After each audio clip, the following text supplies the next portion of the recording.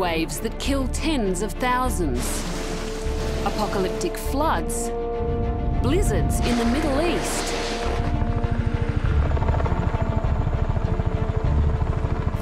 How is it that a slightly warmer atmosphere can create weather that swings from one extreme to the next?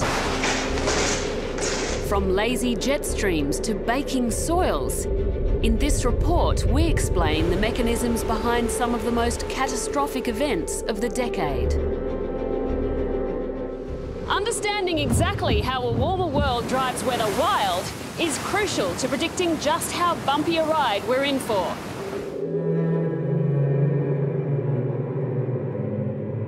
In 2003, a heatwave settled over Europe. This was no ordinary heatwave. By the time it was over, more than 40,000 people were dead. So 2003 was remarkable in many aspects. It was far warmer than ever before, 2 to 5 degree on average over the whole summer. It was likely the hottest weather event in Europe in 500 years.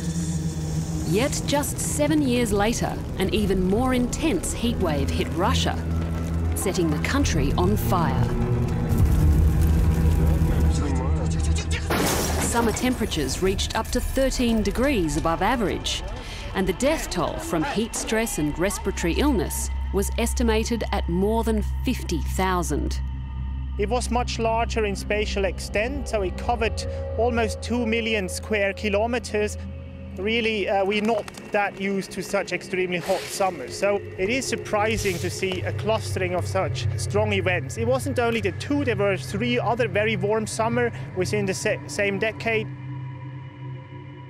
Global average temperatures have only increased by 0.8 of a degree Celsius. One would think that this would just lead to slightly warmer summers, but actually it's greatly increasing the chances of extremely hot weather.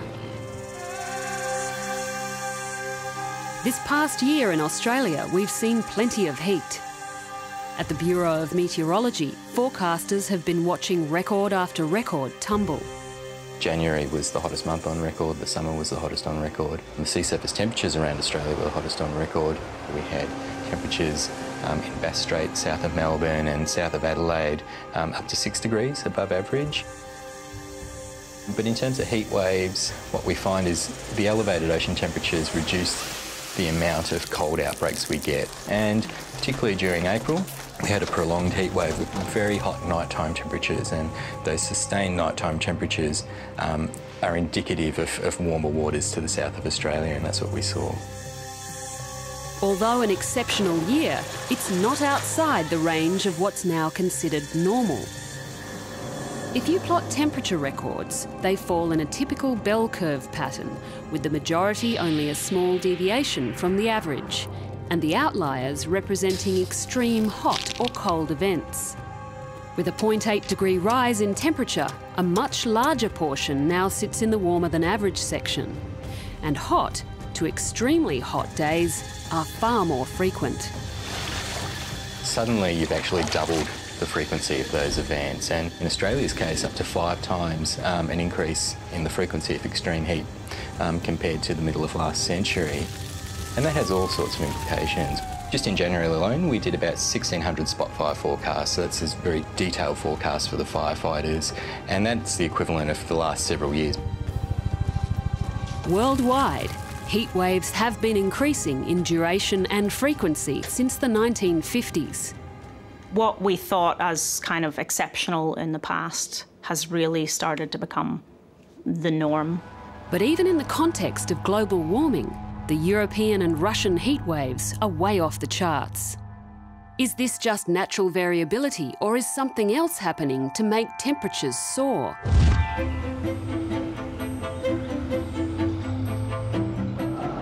The Swiss Institute of Technology is a world leader in climate modelling here, Dr Erich Fischer has focused intensive research on the causes of the 2003 scorcher and other recent severe heat waves in Europe. It was mainly the key factor is always the atmospheric circulation. So there needs to be a high pressure system in place to get such an extreme heat wave. But there was something else they all had in common dry soils. All of them were actually preceded by very dry conditions in the spring. So we think that these conditions were already preconditioning the later heat wave.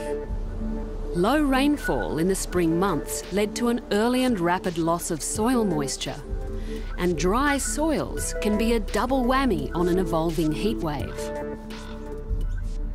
When the sun's rays hit the land surface, a lot of their energy goes into evaporating moisture from the soil and from plants as they transpire.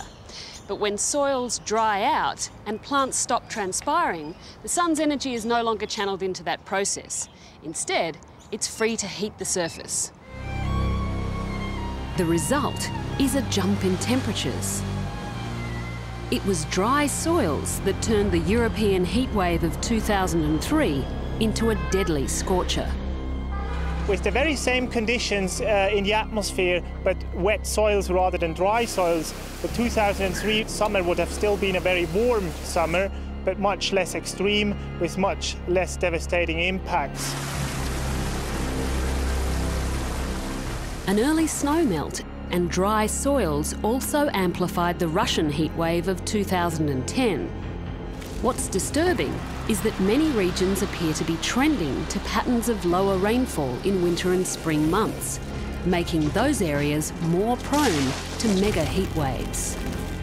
Europe and Central Europe was always thought to be always humid, basically. So it was a surprise that in that event, more dry conditions was actually enough to amplify the heat wave, something that usually only occurs over dry regions such as the Mediterranean or the central US or Australia, for instance.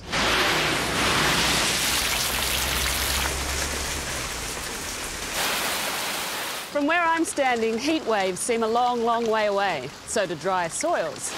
And although this summer has been the hottest on record, it's also had some torrential downpours. So how is it that it can be getting hotter, drier and wetter at the same time? It's simple physics. When air gets warmer, it can carry more water vapour, much more. So any small rise in temperatures should lead to considerably more moisture being sucked from the Earth's surface. But what goes up must eventually come down. Rainfall, as we all know from personal experience, is really spotty. I mean, it can be raining, you know, in your suburb and next door not raining at all. Um, and so that spatial sort of um, graininess of rainfall makes it an incredibly hard thing to measure, and in particular to measure over large areas accurately. To find out if a warmer climate is cranking up the water cycle, scientists have been searching for clues in the restless, churning oceans. Most of the evaporation and most of the rainfall in the world actually cycles uh, through the ocean surface, not, not through the land. Because it covers 75% of, of the Earth, most of the action's actually happening over the ocean. Every time rain falls or water evaporates from the sea, the surface salinity changes. When we look at the ocean salinity field right now, we see this beautiful um, reflection of what happens in the atmosphere. So the places that are very rainy, say the tropics, where there's a large amount of, of rainfall all the time, the surface salinity field is very fresh. When we go to the parts of the atmosphere where we find deserts on land, there are desert equivalents over the ocean where evaporation dominates, and that's where we find the surface of the ocean is very, very salty. Keeping track of how salty seas change, more than 3,000 ocean robots called Argo floats have been bobbing about on global currents, beaming back data over time.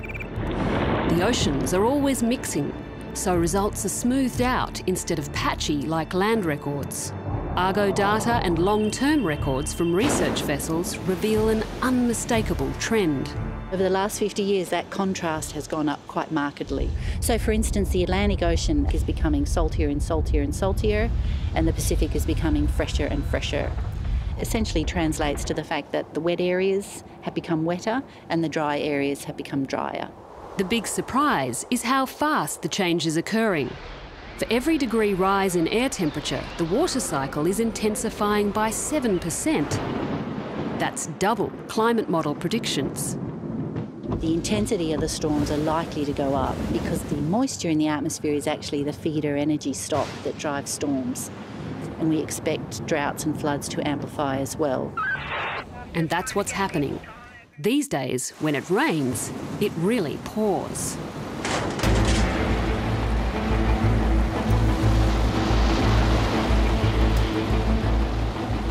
In January 2011, Toowoomba set a terrifying example of what can happen when too much water comes down too fast. We are moving! The town experienced an inland tsunami as 100 millimetres of rain fell in under an hour. You get very intense rainfall events in very short period of time, like you did in Toowoomba. The soil just can't absorb that much water, and then you do start getting these very large inland flooding events. By studying over 8,000 rain gauges across the world, Australian scientists have confirmed that extreme rainfall events have also been intensifying. That means we're getting more water from a big storm than we would have 30 or 40 years ago. Around 7% more per degree rise in temperature. At its peak, a wall of water at least four metres. It surprised us all, I have to say, um, that we got the answer we expected. So, uh, because usually in science you don't always end up with the answer you expect. So to sort of see this coming out consistently in the data was was somewhat of a surprise. We're already starting to detect and, and see big changes in the extreme events, and we've only really warmed the Earth by 0.8 of a degree.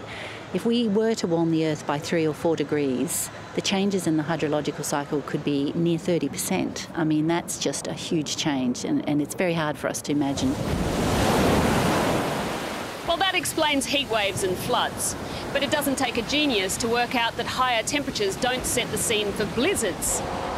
In marked contrast to a sweltering March last year, this year the US suffered through nail biting cold. In fact, much of the Northern Hemisphere was buried under record breaking snowfalls. How can global warming possibly explain that?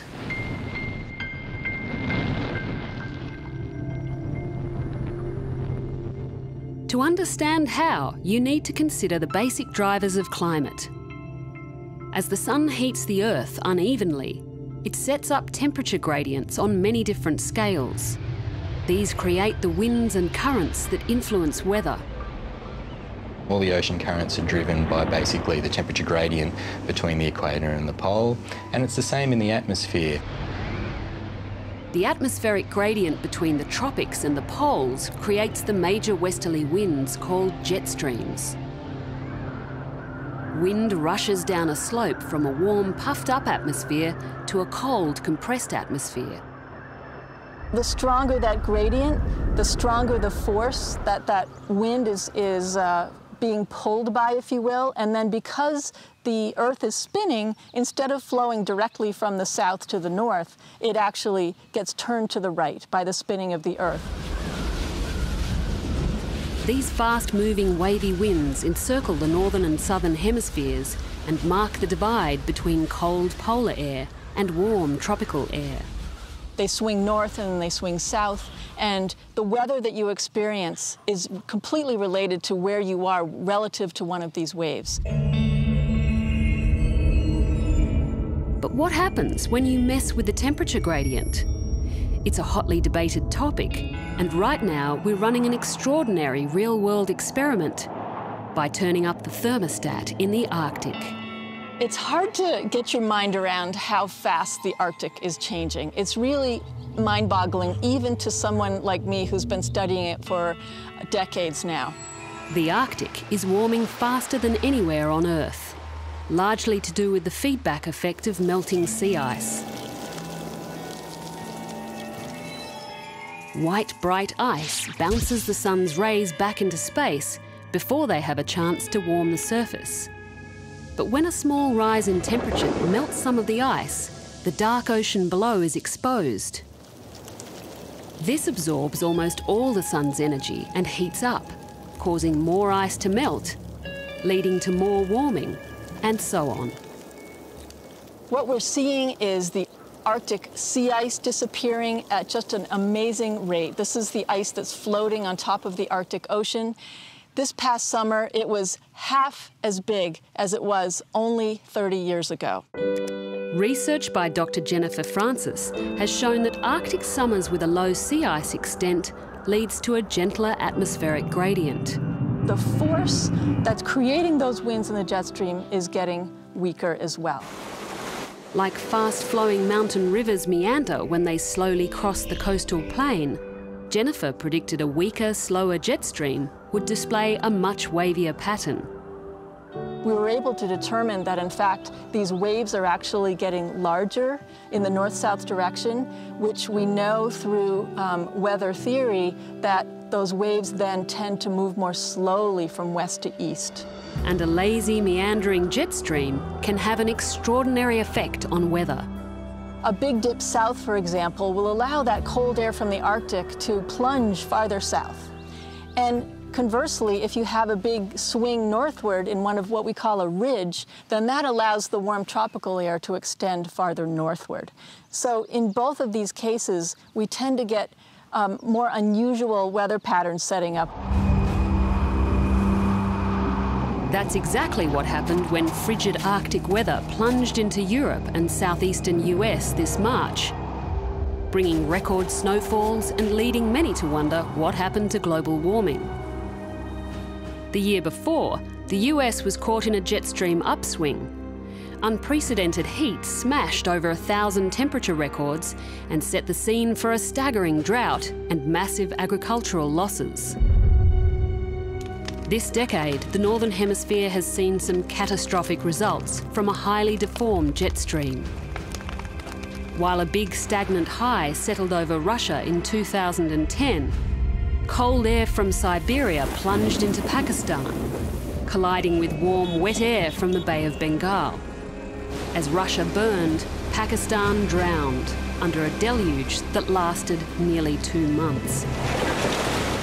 The jet stream takes on this wavier character, what this means is that the weather that you're experiencing in your location is going to stick around longer. It's going to feel like those weather conditions just won't give up and bring something else. It feels like it's stuck. How jet streams are being affected by a warming Arctic is still highly unpredictable, with many other interactions affecting their speed and movement. But one thing's certain we'd better get used to wacky weather. When we talk about climate change in the future of one, two, three degrees, it's actually hard to imagine. It's going to be a difficult next few decades, I think. When it comes to extreme weather, the connection is pretty clear. The warmer the world, the wilder it gets. And with the speed that emissions still enter the atmosphere, we're right on track for an unrecognisable future.